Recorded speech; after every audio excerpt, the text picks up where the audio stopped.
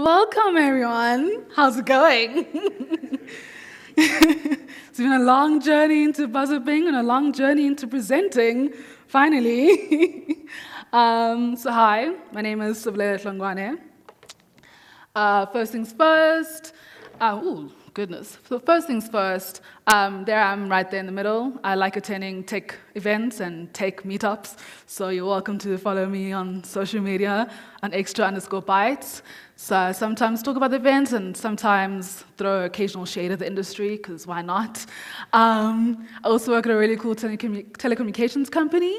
Um, it's my second year at the company. I'm also grad as well, so it's not only my second year at the company, but also second year of adulting in general.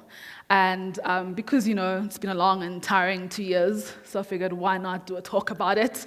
And so, fun fact, it's also my first time conference speaker, so please, everyone, be, be nice to me. Thank you.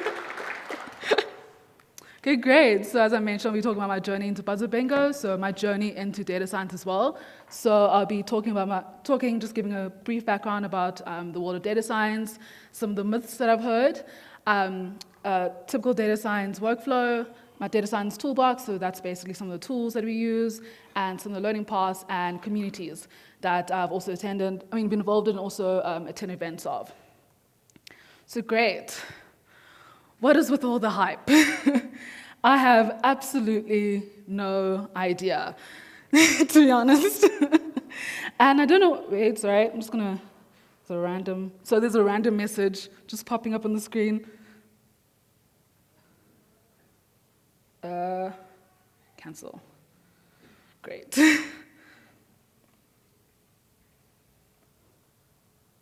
Just want to make sure I fix that because I can't see anything on the screen on my side. Um, so what is with all the hype exactly? I have absolutely no idea, and I don't know why. I, think, I don't know why there's this sort of spotlight on the tech industry lately, especially in the data science and machine learning world. And I don't know why people think that machine learning is just going to fix everyone's problems. I don't know why I think that. Um, and I don't know if it's because um, people think, and I don't know if it's because of the media and this highlight on the fourth industrial revolution and the impacts that 4IR will have in our future, especially in the South African and de developing country context. Honestly, so I basically have no idea. And because, and after venturing into this world journey of data, science, data scientist, I had absolutely no idea what it was really about. I'm coming from a computer science background, um, so I come from a computer science background, so when I'd applied for the job of being a big data, I didn't really know what data scientist was, but for some reason they liked my answers and I got in. so the past two years I've also heard a bunch of myths that I also fell victim to as well. So one of them being that um, data science is the same thing as big data. It's not. Data science can exist without big data. Data science is more about um, the use of the data and the algorithms and the methods that we, that we use to be able to deal with the data and analyze the data. And then big data is more about the type of data. So the fact that the data comes in different varieties and forms, um, the data is generated at really large speeds, um, and the data is in really large volumes as well. So another, another myth I've heard about, so I'm just going to randomly choose, uh, machine learning causes mass unemployment. To a certain extent, I don't think so. I think there are some sort of jobs that will be automated, um, and obviously those jobs will end up being phased out, um, being done by humans. But I guess in the future there will be more jobs that will be um, that will be created. Uh, one of the top there, AI systems can't be biased. Yes, yes they can because AI systems are being coded by humans, and humans are biased. So because of that, obviously, if you have a team that's not exactly diverse, it's going to end up showing up in your code. Okay, great. So uh, I have a general view of some of the myths that I've come across in the past two years, and being a computer scientist, um, I sort of knew about programming. I think that was my main strong point. But I think a lot of people have seen the Venn diagrams with data science. I don't know, if for some reason we love Venn diagrams most of the time I don't really know what they mean, but um, so I knew these three components separately and independently from each other, so math stats, programming, and subject matter expertise. And a CS grad, I mainly knew of the one that was in the middle. And I was like, okay, great. So have programming, fantastic. If you ask me what machine learning is, I can tell you because I got it from the internet. Um, machine learning is obviously a study of algorithms and methods that allow us to get computers to be able to think and act like humans do without exactly being explicitly programmed, programmed and their learning is improved over time by feeding it data and information. Okay, great. So I know what machine learning is. I can also tell you what the machine learning algorithm types are because you know I needed that to get marks in school. So supervised learning, um, being able to use previous data, being able to use previous data, which is labeled, and be able to use this previous data to build a model um, that will obviously help you predict a correct output. And then you have unsupervised learning, which instead of using data that is labeled, you have unlabeled data, so it predicts, um, it predicts an output, target variable for sorry, predicts the target variable for previous unseen data, which is also unlabeled. And then we also have um, uh, reinforcement learning, which is basically a way of learning from interaction. Um, where, sorry, goodness. Navigating screens is difficult. so,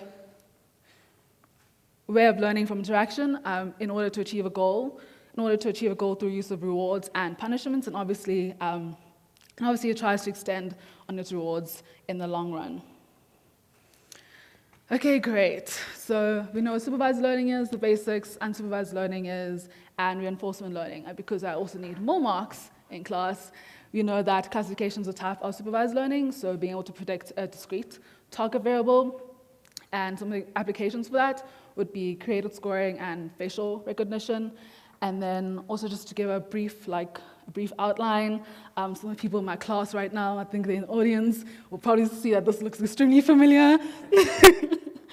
um, so you also have there in the bottom on the right, you have your target variable, and then you also have your training data set, uh, which is used as your input, and including your features, including, including your target variable. And with that, you produce a model. And then as well, at the bottom, you have your, your, your, I'm sorry, you have your test data set. And so you apply the model that we built in the beginning um, into previously unseen data, which is previously unseen data. And then regression, which is for predicting a continuous target variable. So the previous one, um, classification was for predicting a discrete target variable. So regression is also a type of machine, sorry, type of supervised learning. And um, so it's a similar concept, but instead we obviously producing con continuous target variable, not a discrete one. And we have unsupervised learning as well, which um, an example of that is clustering. So if you're given a set of data points, um, each described with certain attributes and features. Um, sorry, each described with certain attributes and features, find a way in which you can divide these data points into groups. And some examples for that would be online recommendation systems, customer segmentation, and character recognition. First of all, am I doing well so far? Great. this is fantastic. Please slow me down if I end up speaking too fast, because I know I have a tendency to do that. Um, so, okay, great. I know what machine learning is. I know what machine learning algorithm types are.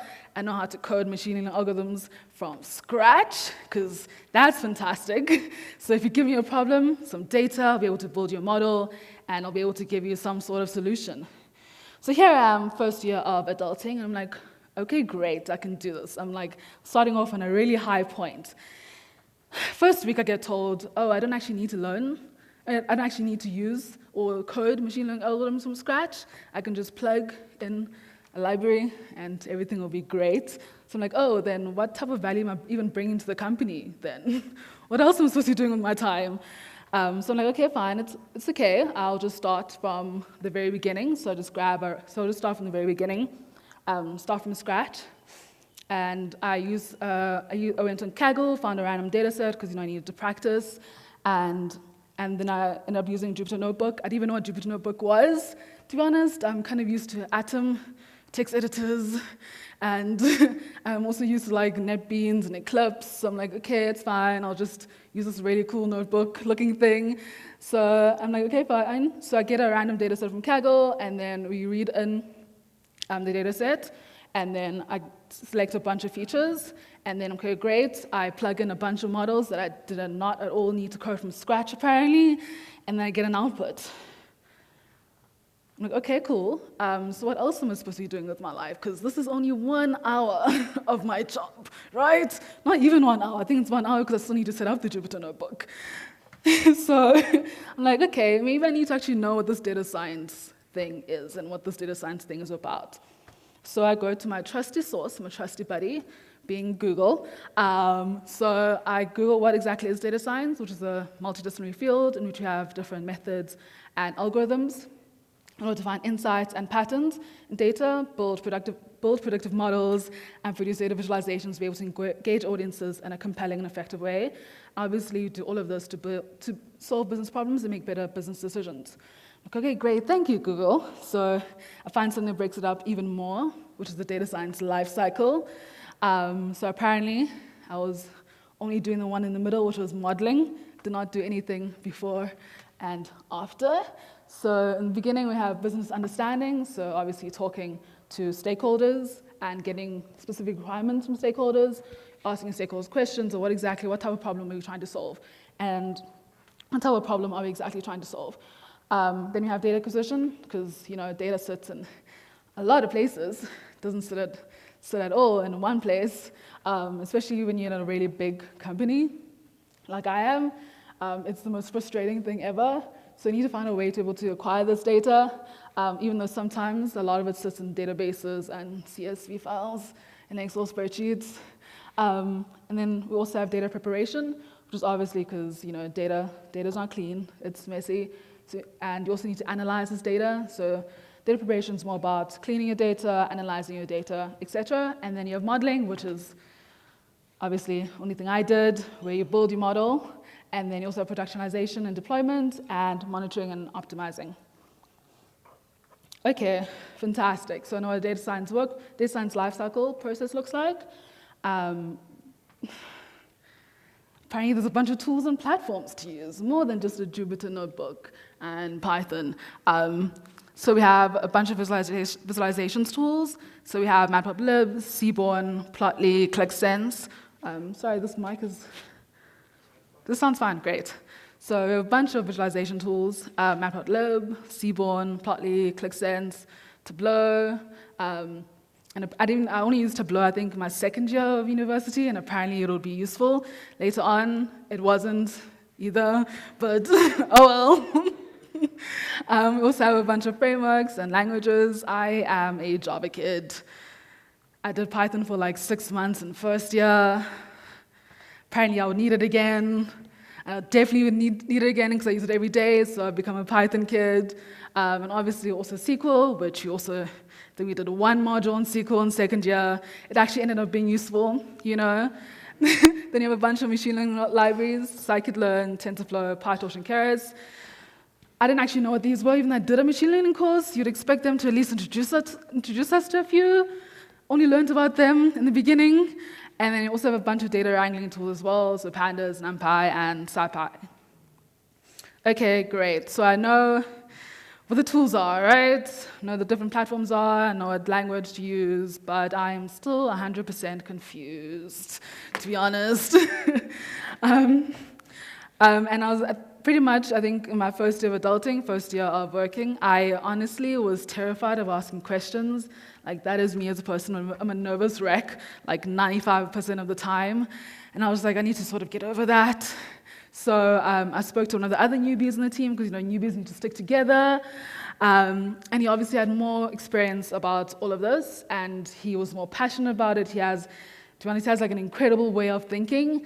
Um, and I only sort of noticed that when I started speaking to him regarding data science. And so he really helped me understand what exactly am I supposed to be doing, because I obviously don't know what I'm doing. Um, and by speaking to him, I was able to sort of find a way to, to ask the right questions when it came to data science and some of the problems that would have to come, I mean, sorry, some of the problems that would have to run into. So I was like, okay, cool. So I need to ask more questions. What type of questions should I be asking? Which I was apparently not asking before. So one, do I even know what the problem was about? The Titanic, um, the reason, so with the Titanic, I think the problem was trying to be solved was like who's more likely, um, who's more likely to be able to, so, to be able to survive the Titanic shipwreck. Um, first of all, I haven't even watched the Titanic, so how am I supposed to understand the problem? um, so second of all, um, do I even understand how some algorithms work? Yeah, fine, I can code them from scratch, but like, do I, do I even know what they mean? Because there's like there's a whole bunch, and they can be used, and some of them can only be used in certain um, situations. So do I even know how they work? Do I even know what the parameters inside that um, inside the some algorithms even mean? Because I know a lot of people just kind of, kind of go one, two, three until it sounds right. But there's a reason for each. There's a, reason for each. Um, each um, parameter that you use. Um, have I used an ID, um, unique identifier? So in the Titanic dataset, I, I think I used, I used Titanic data set, but also just in general, um, uh, there's like so those IDs, and obviously IDs are unique identifier for each row. So if you have a unique identifier for each row, each row, you're kind of just, kind of just giving it the answer anyways. Um, and then you also, do I even know how to tell stories? Do I even know how to communicate well to stakeholders? Do I even know how to um, visualize data? Um, that I had to learn. Um, have I even selected the best features? Um, did I just select all the features and think it makes sense? Um, did I know that within the data itself, within the data itself, there's certain, there's, there's, sorry, within the data itself, it looks a certain way, and obviously some features are more, are more um, important than others, whether it be age or whether, like, um, example, if they have siblings or um, they class. Um, also, how messy is the data itself? Um, did I even look at the data? Did I, did I, even open the CSV file and see if there's blanks and nulls? And, and yeah. So how did I exactly manage everything in the end? Um, number one, because um, it's obviously been a very long journey, and there's a lot, there's a lot of there's a lot of things I've had to learn over the past over the past two years. Um, and because I'm 100% a nervous wreck all the time, I had to first of all learn that I need to stop stressing and to slow down even when I talk. Because um, I stress a lot, and a lot of times you don't kind of you don't really feel like your your skills your, your skills and your background is good enough. So I need to kind of learn how to get rid of those feelings, and also to make sure I get rid of the feeling of like I'm not good enough. Um, Number two, read up on what other people are doing, because that's important. There's a lot of content out there, right? There's a lot of um, there's a lot of content out there. There's a lot of tutorials and YouTube videos and articles, especially on the Medium and towards data science. So just read up on what other people are doing. And even though there is a lot of content out there, just try to stick to one thing, because that's what I did. So I tried, I was like, even though I was very overwhelmed by all this, all this content, I was like, let me just go with the first Udemy tutorial. And I was like, let me just go with the first YouTube channel that I went to, and it worked out in the end. Um, three, you don't know what you don't know. Um, so don't be afraid to ask questions. Ask questions not only to yourself, but to your teammates and also to business as well. Um, four, be curious. Um, be curious about the problem that you're working in, try and apply it to real life. Um, also be curious about the data as well that you're working with. So what is actually, what exactly is in the data? Number five, don't be afraid to make mistakes, even if you, for some reason, bring down the cluster or, I don't know, bring down the platform. Don't do that, but even if you do, I didn't do that, at least I don't think I did. so don't be afraid to make mistakes. And obviously, don't forget to learn from those mistakes as well. And number six, consistency is key. It's important to challenge yourself. Um, keep reading up, keep reading, um, so when I was actually looking past some of the slides well, from university, because I also use that as a frame of, frame of reference, I realized that they gave us a lot of books on machine learning, and I honestly just didn't read them. So don't do that. Make sure you go through all the content, make sure you're consistent, make sure you find new material to look at. And seven, community. So obviously community is important, whether it be at work or if you just um, have a community of people that you met at certain tech events. Um, that's important because they, they're great support um, they're, really, they're a really great support structure. So I mentioned a bunch of, um, so also mentioned um, learning platforms and communities and events that you can go to.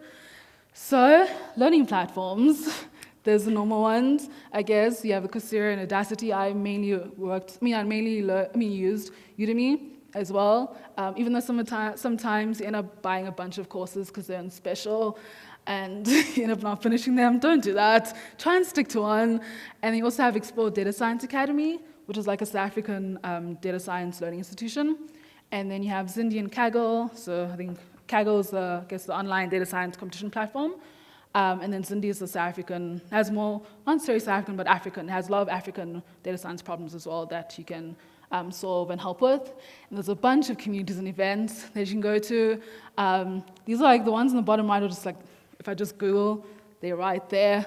So, um, and then also the top, on the top right, um, there's one in big data, um, there's PyData Joburg. There's a lot of there's a lot of meetup groups as well if you just join the meetup app. And yeah, so I think it really helped um, being familiar with all, all of these, and also being familiar of um, being familiar with all these platforms and um, communities and events. It really helped within my journey for the past two years. Um, so yeah, so thank you. Thank you for coming to my talk. Um, don't forget to follow me on extra underscore bytes on Twitter, and you can just email me as well if you want. Um, do you have any questions? questions?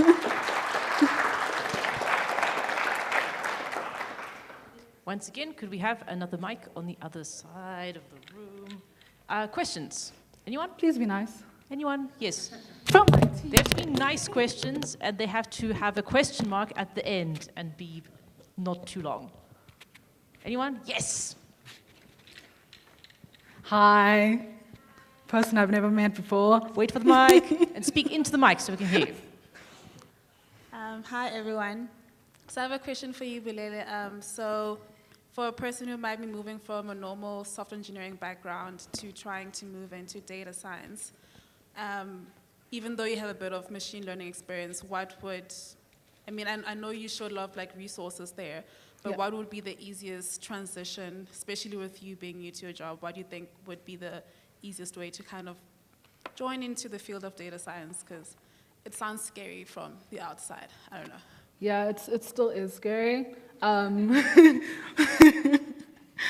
um, so I think some of the things that you can do from, especially from, yes, moving from a software engineering and going to data science, I think is also not necessarily my background as well, because I was mainly just a CS grad, not necessarily a software engineer. Um, the first thing you can do is, I guess, find a course. That's the first starting point. So just find like a course, um, even if you don't have to go on Udemy or anything, just go on YouTube and find like a intro data science talk.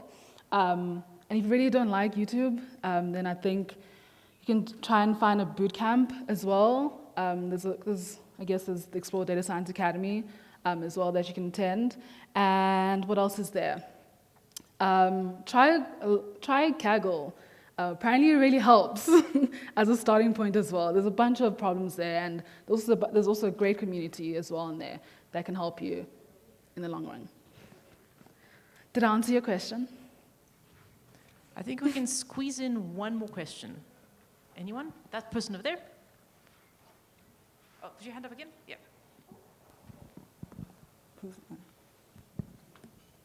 Hi. Greetings. Yes, uh, I'm curious uh, uh, about storytelling.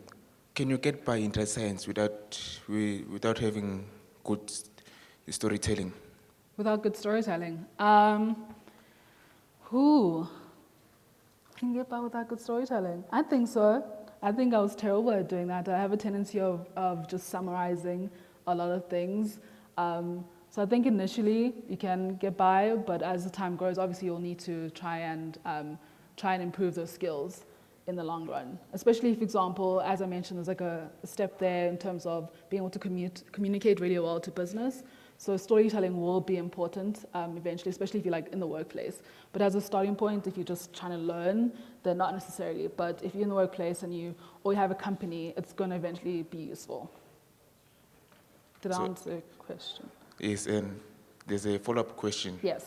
So uh, is there maybe like a subfield in the science where it does not require story, uh, storytelling? Sorry, is there? Is there maybe is there maybe a, a sub uh, sub like section of data science that yes. doesn't require storytelling? Um, not that I know of. You ask my team. Is there? Yes. Wait for mic. Okay, last question, everyone. Yeah, it's just a comment. Uh, I mean, the I don't know if you were in the previous talk, uh, really good talk on machine learning engineering.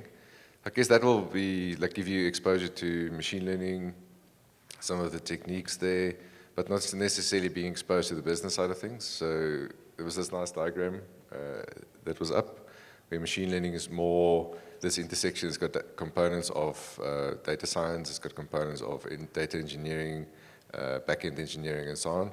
And that could be a great place to start uh, and you'll still be kind of, uh, you know, like part of the fourth industrial revolution, as it were.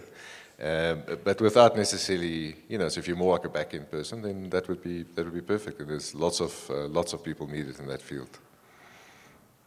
My view. Great Okay. view. So I believe it is now lunchtime, but you are welcome to continue this discussion informally over lunch. Um, yes, and we, I think, session restarts at half past one. I think it's it's in the schedule. Okay, thank you, everyone. Let- Let's have another round of applause for our speaker.